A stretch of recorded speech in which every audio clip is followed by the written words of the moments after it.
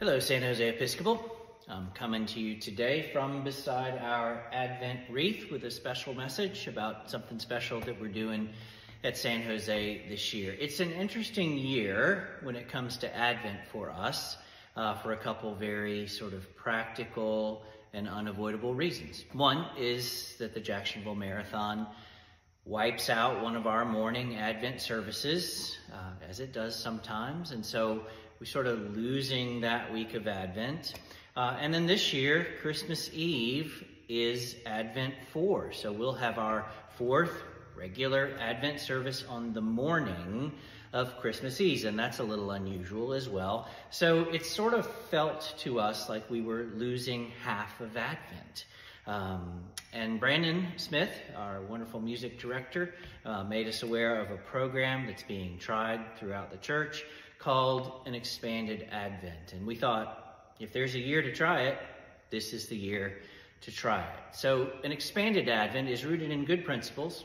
Uh, first of which is that have you noticed that as soon as the Halloween candy's gone at Target and CVS, that Christmas decorations are all over the place? Christmas has crowded in uh, to our culture, which erases Advent.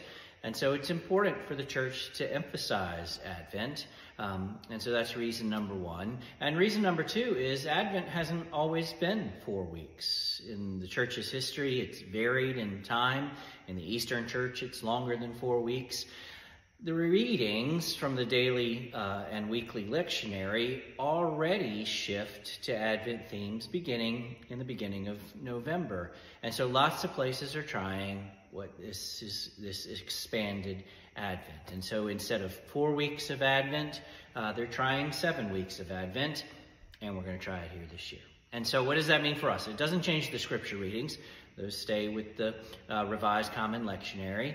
Um, it just recognizes that the themes that are being brought out at this time are already Advent themes, and we're going to change the decorations. We're going to put out the, uh, the Advent hangings uh, earlier, starting this week, uh, to give us the seven full weeks. We're going to put out the Advent wreath.